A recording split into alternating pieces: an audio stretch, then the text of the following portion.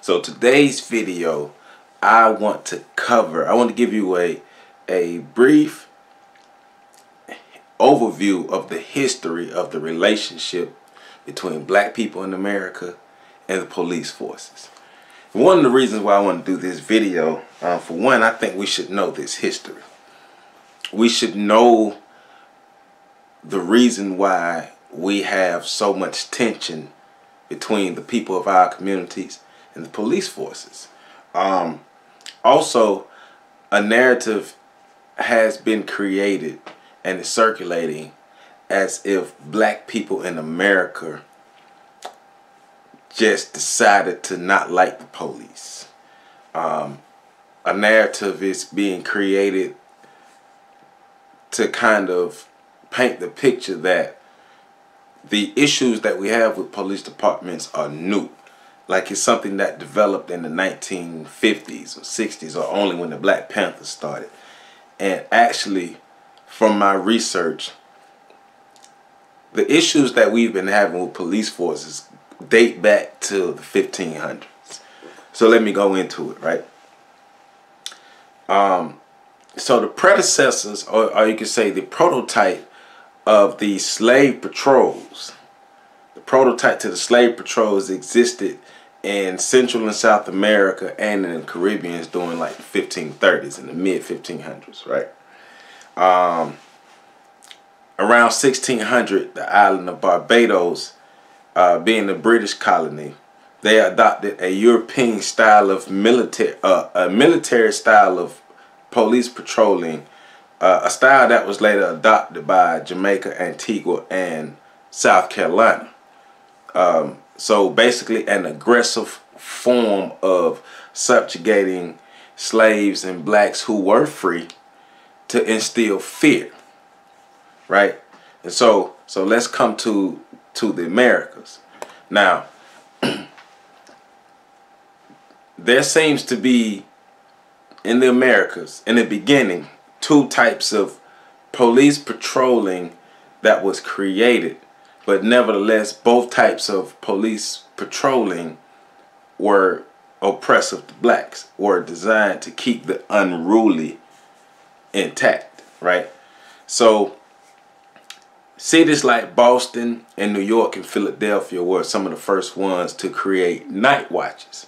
So Boston created night watches in 1636, New York in 1658, and Philadelphia in the 1700s. And the night watches were complemented later on in 1800s by day watches. And New York established day watches in um, around 1938, around 1933, excuse me. So now, the issue with these day watches were volunteers, not people weren't paid, so it wasn't like the modern day police force. People were not paid. Paid, they were not professionals at this. They just enlisted some people, but nevertheless, it was still designed to keep the unruly intact, and of course, keep slaves in line and keep black people in line right?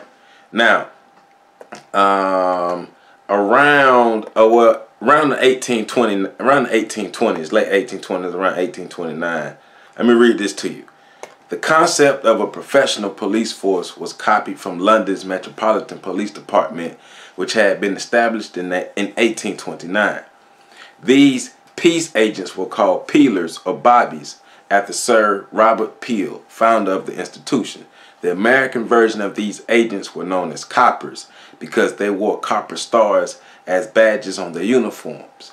They were available 24-7, carried guns, and were trained to think of themselves as better than the working class that were they recruited from. That last part was an opinion by the writer, but nevertheless giving you the, the idea of one of the founding concepts of modern police force or modern police officers. So uh, I'm going to read this to you as well. In order for the police force to be effective, Peel believed it should work under his principles of law enforce of law enforcement, which explicitly stated an ideology summarized by, the, and I'm gonna give you the following nine points. Now these are his points. These are not necessarily things that are happening today, but these are the points that that Peel created. So the first one is the police exist to prevent crime and disorder. Police must maintain public respect and approval in order to perform their duties. Willing cooperation of the public to voluntarily observe laws and must be secured. Police use police use of force depends on the degree of cooperation of the public. The police must be friendly to all members of society while enforcing the law in a non-biased manner. Use of physical force use of physical force should be to the extent necessary to secure the compliance of the law. Police are the public and public are the police. Police should protect and uphold the law, not the state. Efficiency is measured by the absence of crime or disorder. So that those are the ideas that Peel created for um, for policing. Now the volunteers that were part of the patrollers um, were overseen by constables, and these constables, I guess you could say, kind of uh, all this kind of helped transform to the modern police force, where you have the overseers or the people who are the supervisors of the police of the police officers who we would see on a regular basis, right? Um, around 1830, the idea of a centralized municipal police department was emer uh, was created in the United States. In 1838, the city of Boston established the first police force, followed by New York in 1845, Albany, in New York, and Chicago in 1851, New Orleans and Cincinnati in 1853, Philly in 1855, Newark, New Jersey, and Baltimore in 1857. Uh, by the late 1880s, a lot of the major U.S. cities had their municipal police forces. So we're talking about still a lot of major northern cities. Now this was happening in the north, while in the south, a whole nother thing was going on. Actual slave patrols going on in the south, right? The first form of slave patrol was created in the Carolina colonies in 1704. Slave patrols had three primary functions. One, to, to chase down, apprehend, and return to their owners runaway slaves. Two, to provide a form of organized terror to, to deter slave revolts. And three, to maintain a form of discipline for slave workers who were subject to some to summary justice outside the law if it violated any plantation rules right? Um, so after that, well, after after the slave patrols were were implemented, then you had um, all these other vigilante groups, uh, the KKK being created. Then you had these laws that helped to enforce this other stuff, like supporting laws that helped to support the brutality that the police forces were inflicting upon black people in the United States. Uh, Jim Jim Crow laws came much later, but we let's talk about the black codes first. I mean the slave codes, excuse me. The slave codes, right? So when the slave codes were created, they had to be enforced. So more more police brutality. So um, the South Carolina Act of 1740 said, whereas the having slaves taught to write or suffering them to be employed in writing may be attended with great inconveniences.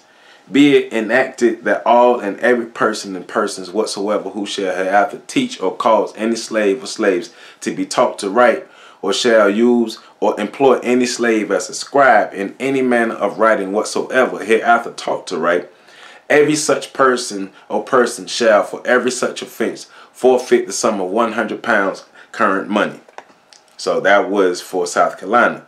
In Virginia, the, the slave code of 1819 stated that all meetings or assemblies, assemblages of slaves or free Negroes or mulattoes mixing and associating with such slaves at any meeting house or houses in the night or at any school or schools for teaching them or reading or writing either in the day or night under whatsoever pretext shall be deemed and considered an unlawful assembly, and any justice of a county wherein such assembly shall be, either from his own knowledge or the information of others of such unlawful assemblage, may, may use his warrant directed to any sworn officer or officers authorizing him or them to enter the house or houses where such unlawful assemblages may be the purpose of apprehending or dispersing such slaves and to inflict corporal punishment on the offender or offenders at the discretion of any justice of the peace, not exceeding 20 lashes. So basically, you can see in there, especially in the, the codes of uh, Virginia, that force, brutal force, physical force can be used to um, correct action, right? And those who caught them could act as the enforcers of the law, right? The patrollers.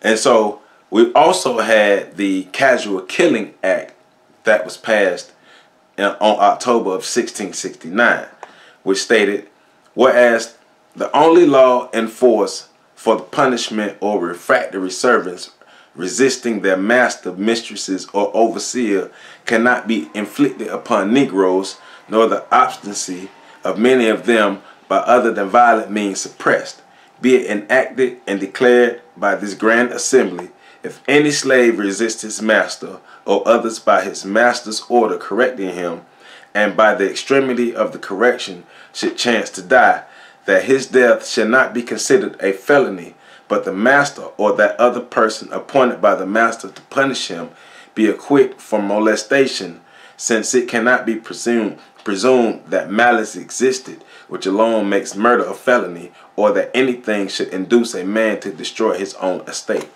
So laws were created to protect not only the slave patrol and the police officers or the coppers or whatever title that they use, not only um, like well, well, basically these laws were created to help protect those who killed the slaves.